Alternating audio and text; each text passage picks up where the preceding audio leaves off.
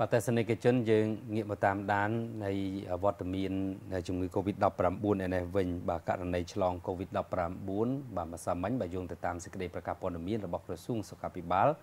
បានរកឃើញ15ករណីបន្ថែមទៀតបាទជាករណី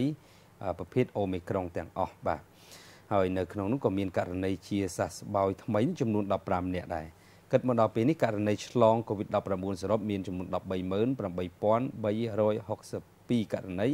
ដែលមានករណីជាសះស្បើយ135,173ករណីបាទចំនួនស្លាប់នៅថេ